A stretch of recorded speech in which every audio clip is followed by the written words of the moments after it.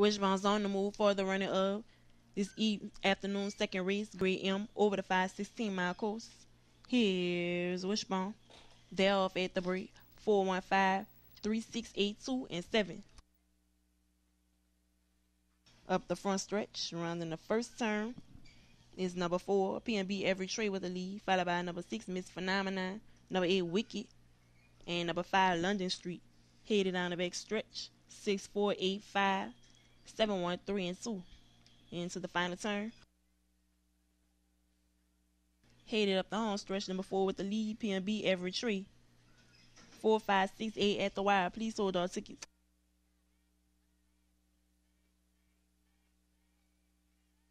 Number 4, PNB Every Tree.